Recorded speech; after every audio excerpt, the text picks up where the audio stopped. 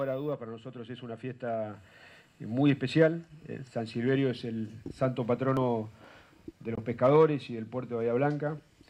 Eh, tiene una, fuerte identidad eh, en la localidad, una gran historia.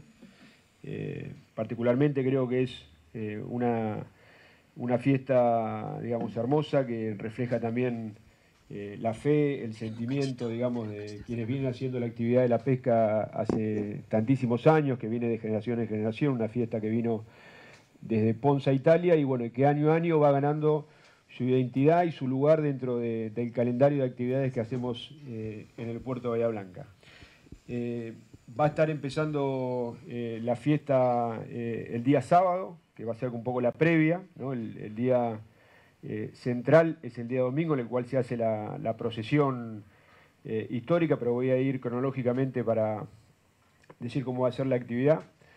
Eh, el día sábado vamos a, tener también la, inmensa alegría de, esta fiesta que tanto tiene que ver con la identidad de White y de los pescadores, de, que el Consulado de Italia, digamos a través del, del cónsul general Samuel Facci y todo su equipo de trabajo, eh, ha generado también la, clausura de la Semana eh, de la Cocina Italiana, hermanada en esta fiesta que tanto tiene que ver también eh, con Italia. día domingo vamos a estar empezando sobre las diez y media de la mañana con la misa tradicional en la iglesia de Uruguay, bueno, que estamos invitando a todos y todas quienes quieran participar que, que se puedan sumar. Sobre las 16.30 va a iniciar la procesión.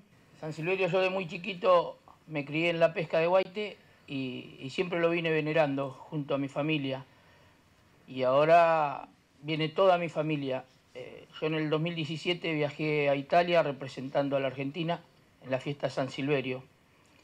Y la verdad que es una fiesta muy linda, muy linda. Y gracias a Dios que en este momento, el año pasado, lo pudimos volver a llevar los pescadores después de una larga data, después de 32 años, hicimos un montón de, conferencias, un montón de reuniones entre todas las instituciones y llegamos a un acuerdo con el jefe de la prefectura y lo estamos llevando a los pescadores.